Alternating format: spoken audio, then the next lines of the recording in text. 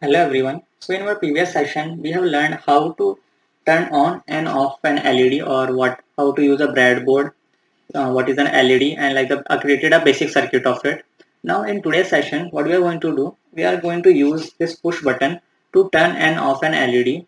Like here you can see if I press it, so the LED should turn on and when I release it, the LED, LED should turn off. So for that, uh, we have to create the basic circuit of it. Now before going uh, in our circuit diagram, let's first understand how to use this push button. So this is a kind of switch like uh, you have uh, seen this switch in your uh, computer keyboards that when you press it then some button or some action has been done when you release it then it is not performing so like that we have a push button or we can call it as a uh, momentary button so it will be active until you the uh, switch like if you are pressing it it will be active. When you release it it is not active.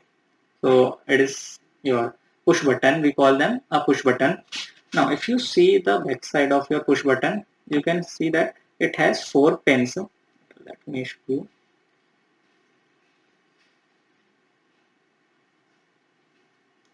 I think it is not uh, focusing a little bit.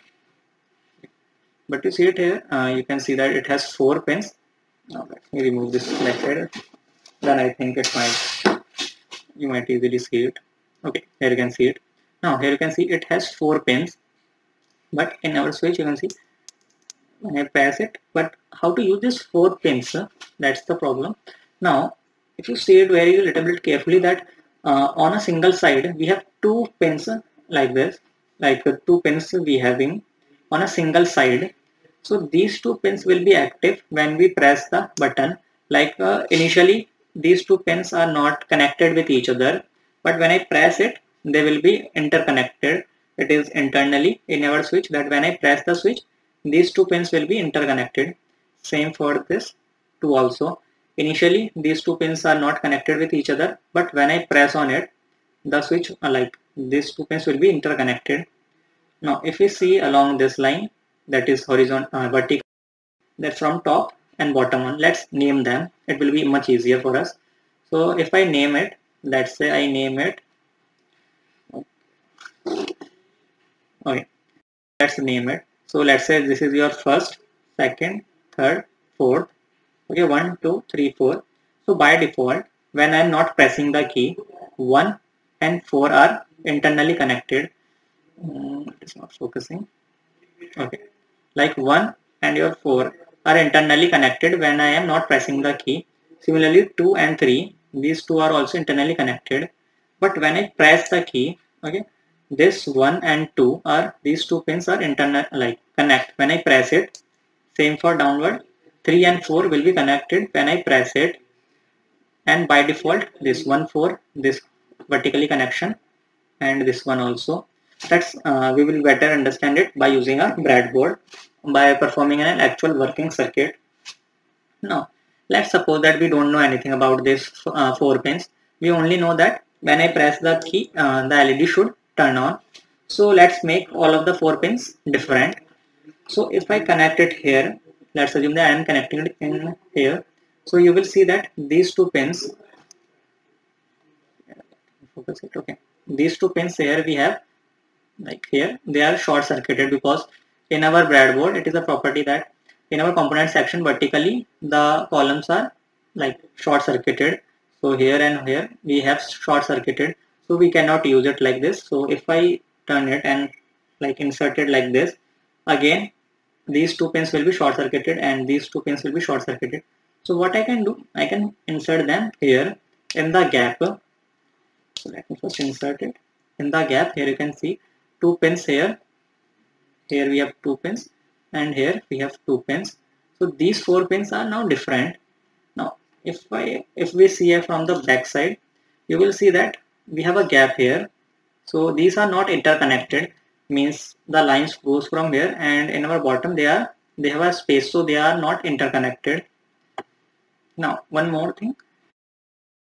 We have two pins so these two pins are different because they are vertically on a different sections. Similarly we have here these two pins are also different. And these sections are also different because we have a gap between them. So all the four pins are different. Now let's create a circuit to understand it. So let me use let's say this green color LED I want to turn on this LED when I press the button.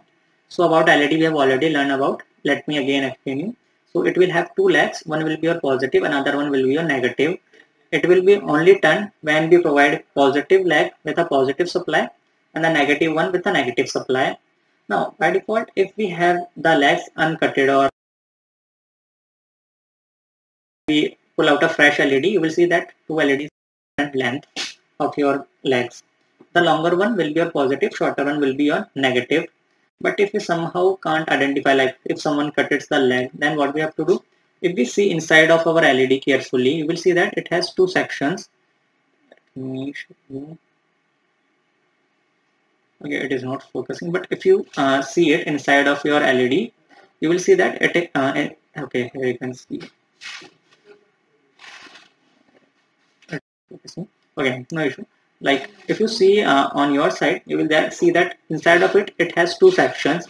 Now inside it will be like opposite. Now as i told you the longer one should will be positive shorter one is negative. Inside the shorter one is positive longer one is negative.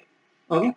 Now let's say i connected here differently. Both of them are at a different area so they are not interconnected with each other. None, no connection we have done till now let's use a battery for power supply or power source.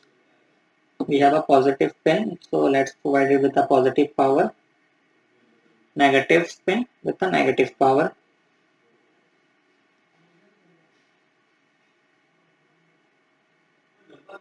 Okay that's it.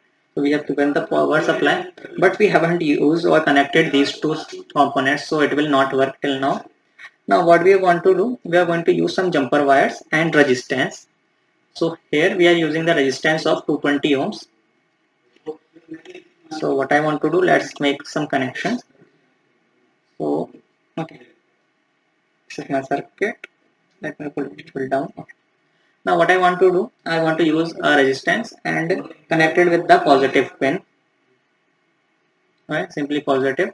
And in the positive the another wire or another pin towards the positive of your LED so it is like positive to positive because this is how your LED work. Positive power to the positive one negative pin to the negative or we can call as ground.